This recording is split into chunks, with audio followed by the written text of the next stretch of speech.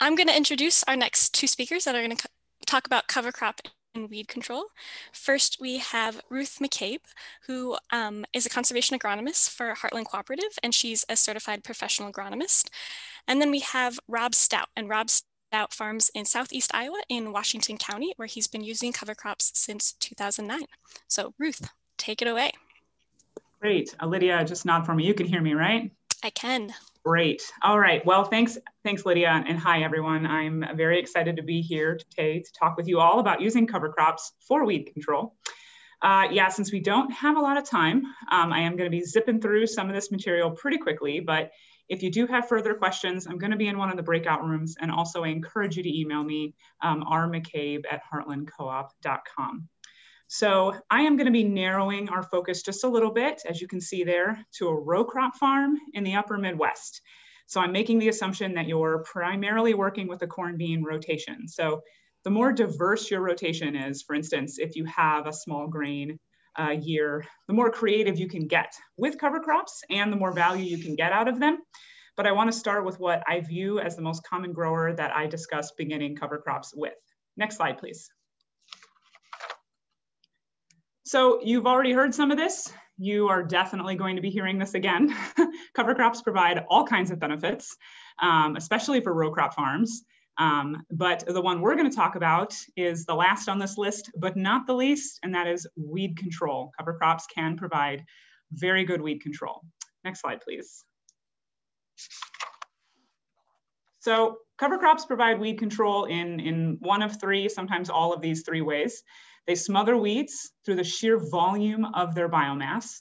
They can outcompete weeds for limiting resources like sunlight or nutrients or water, or also allelopathy. So I call these silent soil ninjas, but they, as their biomass or their roots decompose, they release compounds, for lack of a better word, um, that inhibit the growth of other small seeded weeds. And like I said, a lot of cover crops, they can do all three.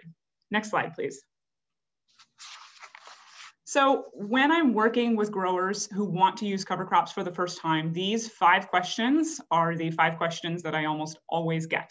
They're very common. Those first three questions, what species should I start with? How do I kill them? How do I work them into my rotation? I'm actually gonna be addressing those questions as I talk about some specific cover crop species, so in a few slides. But those bottom two questions are the ones that I'm gonna answer right now. Next slide, please. So the first one, how do I get a, a cover crop to establish well? This honestly just comes down to good old classic agronomy, right? So you want good seed to soil contact, you want good moisture, and you want good temperatures. So good seed to soil contact, the best way to do that, obviously, would be drilling your seed after a harvest. Um, however, the further north you go, the less growing season you get after harvest. So a lot of folks aerial seed or they overseed into a standing crop.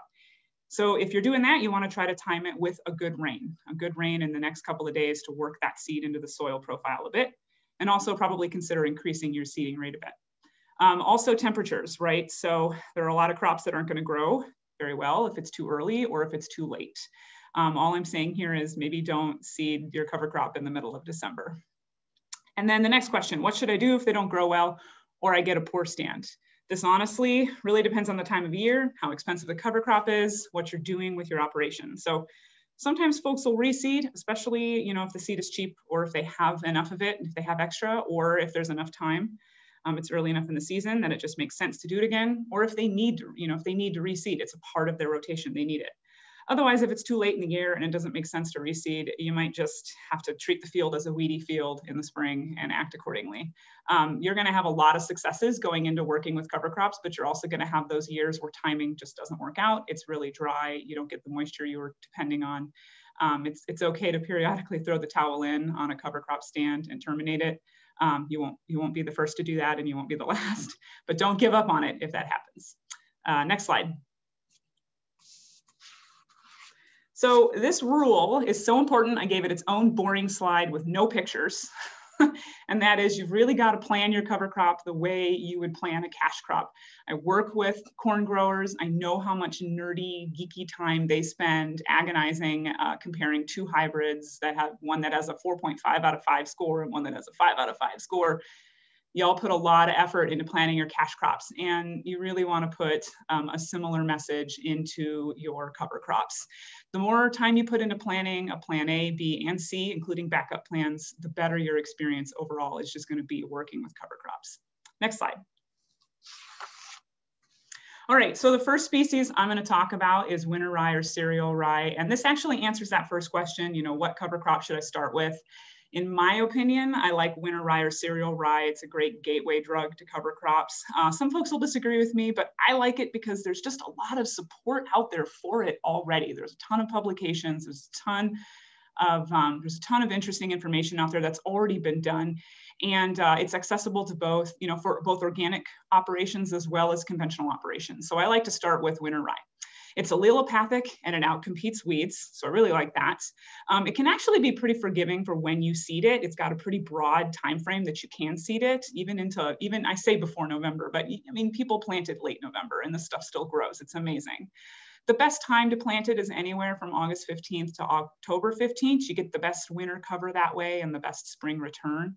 Um, folks will broadcast or drill it anywhere from one to three bushel an acre. Now, if you're drilling after harvest, you would you could drill at a lower rate, maybe one bushel an acre. But if you're broadcasting, you really want to increase that seeding rate. Um, it's better to go with like two bushel. In the spring, boy, this stuff comes back like a beast. All right. So in the spring, you want to terminate it a minimum of two weeks before you're going to be planting your spring crop, your cash crop. You can spray, you know, spring plow, disc, roller crimp or mow. For those of you who are organic, you would roller crimp or mow uh, at anthesis specifically that picture in the lower corner there is a rye flowering, okay? So you wanna terminate when they've switched over into their reproductive mode. Um, and so most people use, when they're using rye, um, they're going into soybeans, but you can you can use rye and go into corn. Uh, people that I work with who do that are they use a starter. Absolutely, I saw somebody ask that question in the last presentation. They absolutely use a starter uh, with their corn. Next slide, please. So this slide here just emphasizes that point that I made where with rye, you know, the earlier you get it planted in the fall, the better experience you're gonna have with it. I took both of these pictures, the bottom picture, um, same farm, I took them both on November 12th. That bottom picture there was seeded in, um, I think mid-August. I can't see the, the text for whatever reason. And then the top picture um, that was air seeded in um, late October. And I took both those pictures the same day. You can easily tell here which crop is gonna have better um, winter cover and which is also gonna be coming back a little bit earlier and a little bit thicker in the spring. Next slide. Okay, so this real quick here, I just want to briefly talk about using a thick rye mat as a weed control mulch in the spring. So this is really popular to do. You saw it in the last presentation too. It's especially if you're going into soybeans. Folks will plant rye in the early fall and then they allow it to grow to anthesis in the spring and then they terminate, flatten, plant into it. Um, some folks will plant into the standing rye and then terminate after. This, this really comes down to your comfort level, the machinery you have on hand, et cetera. Um, but if you're gonna try this, you really wanna use a higher seeding rate. Um, really, especially if you're organic, preferably closer to that two bushel per acre in order to get that nice thick mulch that's gonna block weeds. So um, i have lots of publications on this. You are welcome to email me and I can send you more PDFs than you know what to do with. Next slide. Okay, so getting away from winter rye, we'll touch on another one, sorghum sudan grass. I love sorghum sudan grass. It's a beast of a grass. It's allelopathic, it smothers, it's a smother crop, it's, it outcompetes weeds. There are many ways to use sorghum sudan. So if you're planning to uh, planting it as a weed control cover crop, you would use a fairly high seeding rate. Um, the minimum is something around 40 to 50 pounds. I know growers who do as high as 100 pounds. I think that's crazy, but some people swear by it. Um, so, and you, and you know, you would want to increase that 40 to 50 pounds if you're broadcasting. So I think on average, I see somewhere around 60 to 70 pounds, but it just depends. Um, you also want to plant when the soil temps are at least 60 to 65 degrees and rising, seeing how most folks are planting this midsummer in the case of a double crop or after they take their silage out or something, it's not a problem. You get warm soil temps pretty easily. Um, you can also graze or cut sorghum sudan for hay. It does have good forage values, and that's another reason some folks use it. Um, the minimum amount of time to get a good cutting off of it, though, is 35 to 40 days. So it is an ideal late summer weed control method if you've harvested, say, like a spring grain crop, or if you've taken silage off. and that maybe you need another forage option. The thing I like the most about sorghum Sudan is that it winter kills very nicely. And so if you're purely planting it for a thick spring mat, I know folks who've done this, um, similar to that winter rye scenario, but you don't have to worry about terminating it in the spring. Um, however, in that kind of scenario, then I would recommend pushing that planting back to late August or early September. Um, and, and the reason for this is that it just prevents it from getting really woody when it after it frost kills. And also um, it can be really thick and unruly. Uh, so some kind of mechanical breakup will help a lot. Next slide. All right, so this isn't a species, this is a power duo, but I'll mention some species. Um, Brassica small grain is a great duo um, for weed control. It's really popular. Um, so the, for, the, the brassica, also known as a mustard, uh, typically people are using forage brassicas or forage kale, and the reason why is those are really leafy and they can, um, you know, shade out crops underneath them. This is an allelopathic slash smother crop combo. Um, Typically the small grain that's used, it depends on if you want this to come back in the spring. Obviously you'd use rye if you want it to come back in the spring. If you use oats, it's gonna die over winter. Um, so this duo is typically broadcast or overseeded into standing crops, anywhere from late July to early September, depends on where you are and what your moisture is gonna look like. Um, the brassica is around two to four pounds an acre, typically in this blend, and then the small grain is usually like 20 to 40 pounds per acre. For the, uh, I think I just said for the small grain, I have these boxes popping up, so they're distracting me. Um, the brassicas will winter kill, definitely. And again, as I said, the small grain, it just depends on what you use. If you use rye, it's gonna come back. So you have to keep that in mind for spring termination. And, and we already talked about some of that. Um, but if you use oats, they will, they'll die over winter. And if you use something that completely winter kills, then typically the, the, the breakdown in the spring is pretty, it's pretty fast. As soon as you get spring warm up, you'll start seeing breakdowns of the biomass. So you don't have to worry so much about a starter if you're using stuff that, that winter killed. Next slide. All right, last but not least, buckwheat. This is my favorite cover crop by far. I don't really know why. I think it's because I like the smell uh, and bees really like it. Um, but it's a really fast growing smother crop. And so you, we're talking 45 days from planting this stuff to when you've got a very thick, robust stand of a cover crop. Um, so it's really great for seeding between double crops like June or July timeframe if you've taken out um, a small grain and you just need something for, for quick midsummer cover, or late August, early September, again, for if you've taken out silage um, for some quick fall cover. This stuff frost kills and mechanically kills ridiculously easily. And I mean, like, I have a friend once who described it as if you so much as look at buckwheat side-eyed, it'll fall over, and she's not wrong. It's very true. so it, break, it breaks down really quickly. There's not a delay in nutrient availability at all with this stuff, um, but you won't get any kind of winter winter cover you know protection with this stuff. It, it breaks down pretty fast, so you don't get any of those overwintering benefits. Um, you would drill it at 50 to 60 pounds per acre. You would broadcast maybe even up to 100 pounds. It just depends. Um, some folks, I, I know folks who've done everything in between. Next slide, please. All right, so these are just some resources um, that I would recommend looking online. They're all, they're all free. You can download most of these as PDFs online for free. I recommend them as great resources um, in addition to any of the resources on the PFI website. Strongly recommend the cover crop resources on the PFI website. But these are also really great um, to help you decide on cover crop species for a row crop operation. Um, and from there, I will turn it on over to Rob and thank you all so much. And I will answer some of the questions that have popped up in the chat for me.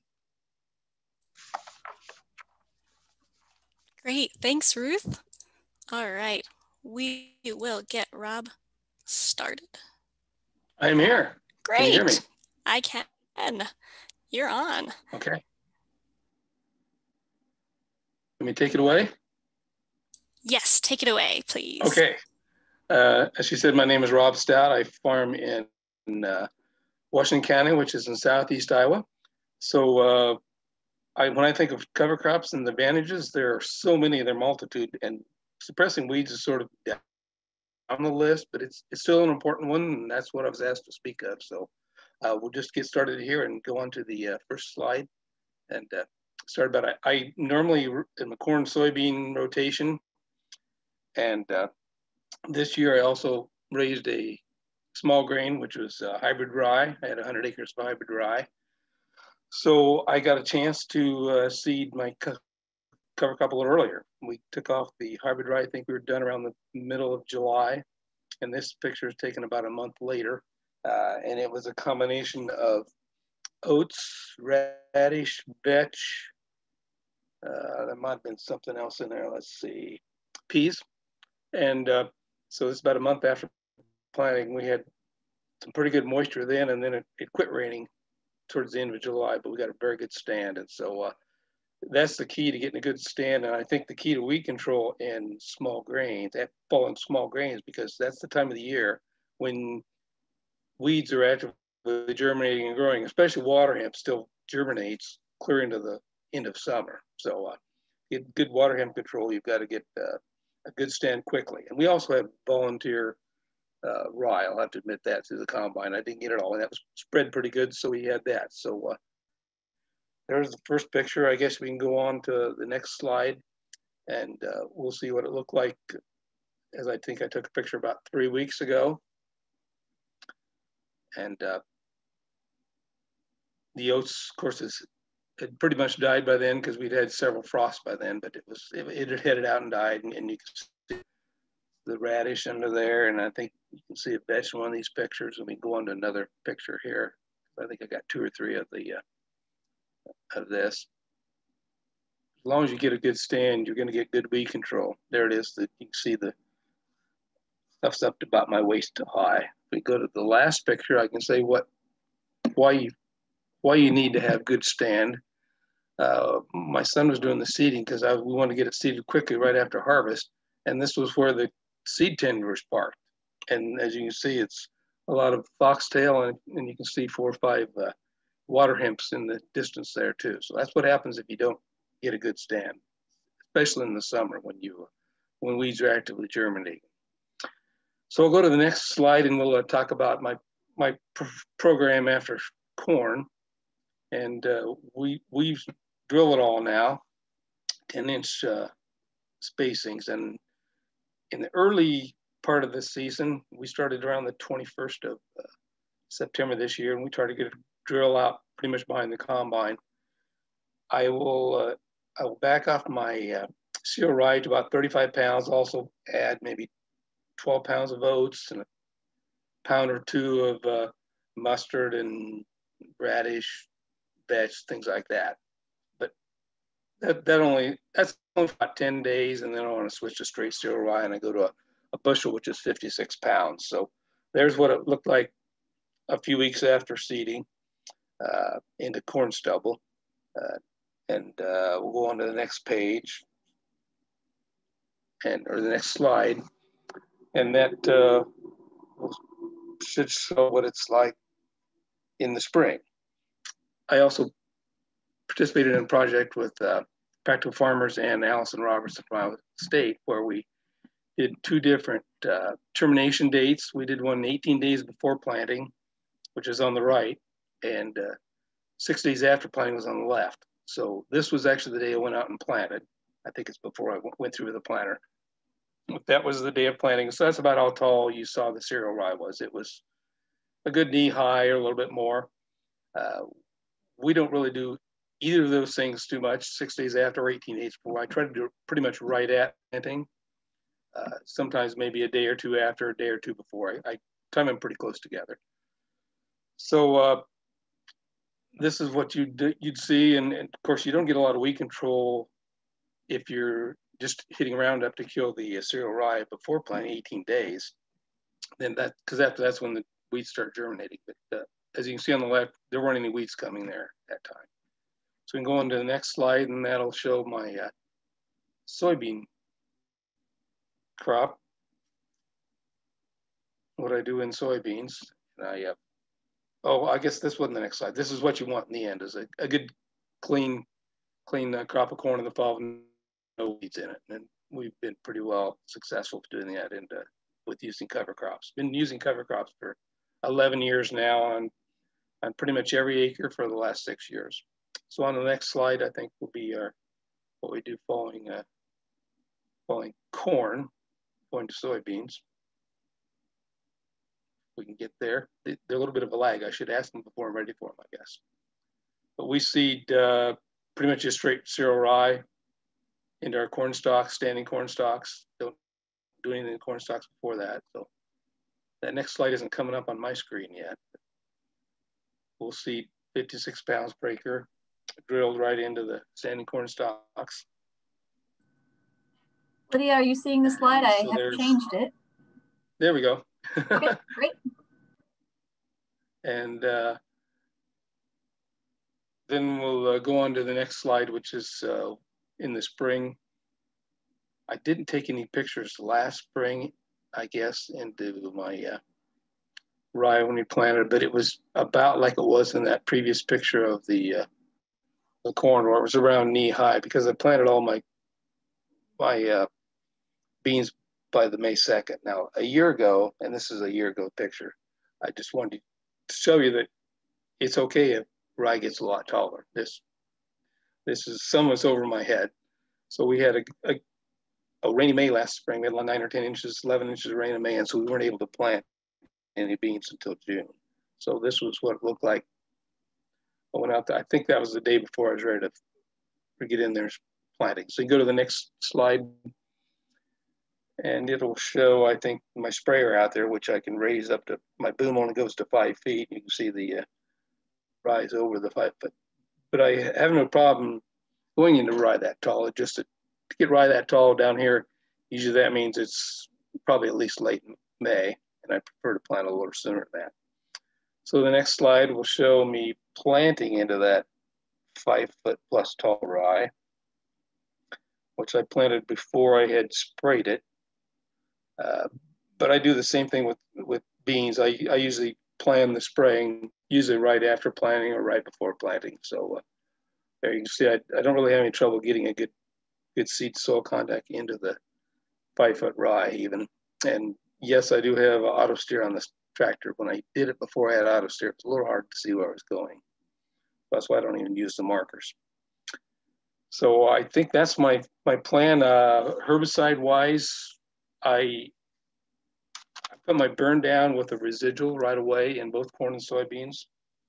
I like to use Acetochlor and and uh,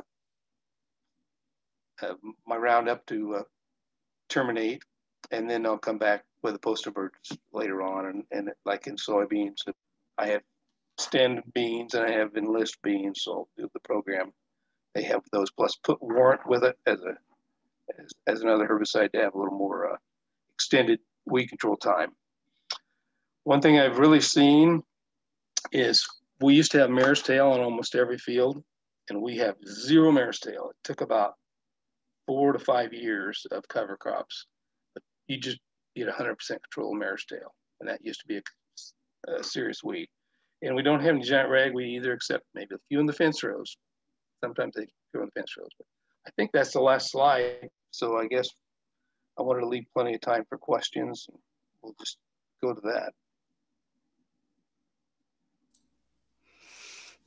Great. Well, thanks, Rob and Ruth. Um, keep those questions coming in the chat box. Rob, I have a question for you to start. Um, I'm curious, in those years when you're getting really high biomass, are you tweaking your herbicide regimen at all? Or have you tweaked it over the years just by using cover crops continually? Yeah, I don't really change the herbicide, even if the, there's a five foot of biomass. It it doesn't seem to make that much difference. I, you get more, you get a longer weed control from having more biomass than corn.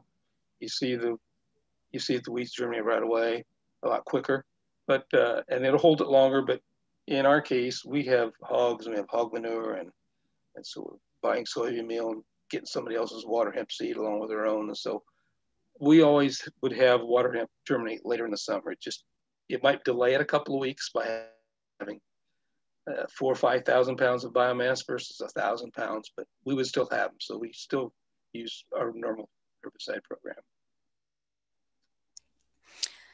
Okay, and one more question for you, Rob, and then I'll give one to Ruth. Um, here's a question. Have you influenced any of your neighbors with cover crops? Are they doing anything different or? Well, we've increased the acres quite a bit in our neighborhood. We've, we've had several field days here over the last 10 years. And so uh, we're also part of a watershed, uh, West Fork Crooked Creek Watershed, which we were one of the original uh, watersheds to get funding from uh, state of Iowa IDALS, in their watershed initiative. And so we got some money and, and, and shared, cost shared cover cropping. So we got a lot of neighbors to, to try it because of that. So uh, we've increased the acres here in our area quite a bit. Awesome. Okay, Ruth, I have a question for you. There's been a lot of chatter in the chat box about termination dates, especially before soybeans. And I know your rule of thumb on your slide was two weeks before planting. I'm wondering if you could comment about terminating before corn versus soybeans and, and what maybe a beginner should do. Yeah, and that was um, basically the issue there is it comes down to what you got going in. So obviously if you're going into soybeans, um, you have more time in the spring. Um, and the idea really with rye is to let it get as big and bushy as possible. I know it like makes a lot of people really nervous when they see this massive stand of rye out there when they're first starting to work with rye. Um, and so you have more time to terminate in the spring if you're going into beans than you do if you're going into corn. And the, the bare minimum recommendation that most folks will tell you is two weeks. Um, I know a lot of growers who will terminate earlier than that, um, just so that they know for sure that they're getting things taken care of. And you can also have some issues with cutworms. And um, I know with organic growers, you know, they don't have all the tools and the, the chemical tools in the toolbox. It's not like a value statement there. It's just kind of a truth. Um, and so they'll, I know a lot of organic growers will try to terminate um, a little bit earlier too, um, usually mechanically, obviously, because you can't terminate anthesis so early going into corn. Um, so it, the two weeks is the bare minimum and some folks have problems with that. Some folks don't. And I've worked with growers across that spectrum. So I just use that term because it's kind of what is accepted, but some folks terminate much earlier. Great. And I don't think this question has gotten answered in the chat box, but here's one for you. Um, would you recommend seeding um, buckwheat and cereal rye, especially if you're interested in grazing? Oh, I did answer that one. And I think I actually, oh, it. no, it's okay. I, I think I sent it privately to somebody. So I apologize to whoever that was. um, but yeah, I did. Um, yes, sure. You can seed buckwheat. Um, you can seed buckwheat with cereal rye in the fall, definitely. Um, and it, it, yep, you can graze it, um, but it will it'll die pretty fast. I mean, that stuff, if you even step on it, I mean, it's over. It'll it'll terminate. I will say, someone mentioned this in the chat, and I would agree with it. Is that buckwheat reseeds itself pretty easily. If it starts to flower, you need to get it terminated if you don't want buckwheat weeds. Now, I don't care about like most of the growers I work with don't care about buckwheat weeds because buckwheat terminates so easily. But if you're an organic grower, that's something to keep in mind because you can't, I mean, you can't spray it, right? So it mechanically kills pretty easily too. Um, so I don't, you know, some people don't like having buckwheat weeds, um, but most of the growers I work with can terminate it pretty easily. So it's not a concern for them. But if you are concerned about it, just time it 40, 45 days out from the, the, the average frost in your area and you'll probably be fine because even a small hint of frost and buckwheat is done so. Great. Um, okay, I think this question just got answered in the chat box, but I'm still going to put it to you um, first, Ruth, which is um, if you're, uh, people often ask about allelopathy issues with rye and the following crops. So this is specifically about harvesting rye for hay. And are you having issues with allelopathy in the crop after that? Yeah, so typically rye allelopathy only affects small seeded crops. You don't have to worry as much about like corn or beans, but depending on what you're going, like with I know with vegetable growers, it, it can be a problem with like because you know they're going to try to grow carrots or something, and they, if they had rye, in, they can see some inhibition of their carrot growth or their lettuce growth or whatever. Um, but you know, usually with with corn or beans, rye allelopathy isn't a concern, and I, there's some research there's research out there that that supports that. I've never seen it. Um, I've never seen that issue with corn and bean growers, so that's all I can say there. I don't know, maybe Rob has um, some other experience. Yeah, Rob, do you want to chime in for a second here and just talk about any allelopathy or lack thereof? Yeah, I don't, I don't see allelopathy, and I, I think I thought that before I, when I started growing uh, cover crops, but I've found that it's not allelopathy in, in corn.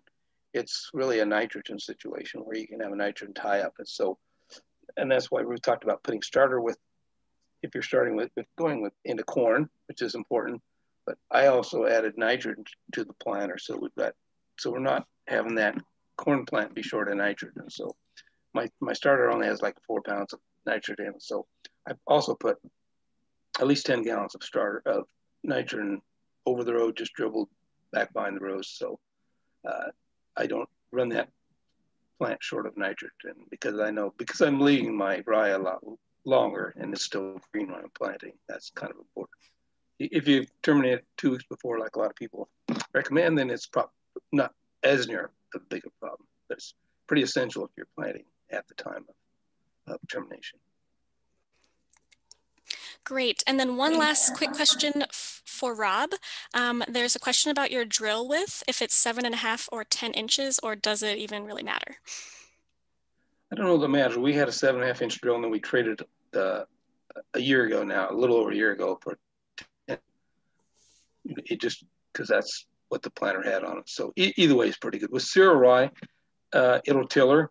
Now, if you plant it late, you won't get any tillering in the fall. If you plant it early, you get some tillering in the fall, and then it'll till in the spring is when it re really fills in. I mean, if we get a warm day here next week, the rye will green up again. Or if not, it'll green up in February, the warm day, and in March, it'll warm, warms up, it'll green up and really green, just take off and start tillering and, and fill in so it covers in those spots. So that's why I say seven and a half, 10 inch rows. Doesn't make a difference because your weeds don't normally come up until mid to late April or to March or to May. And by then you've filled that in with your tilling of the rye.